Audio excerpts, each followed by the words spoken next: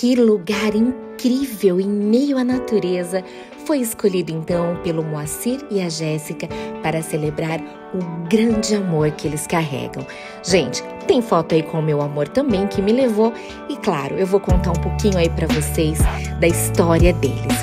Eles se conheceram em Sorocaba em 2018 e foi uma graça porque os amigos que foram os cupidos foram os padrinhos de casamento deles também. Foi muito romântico, fez um acróstico com o nome dela e foi muito especial. Realmente, eles tiveram sim um encontro de almas.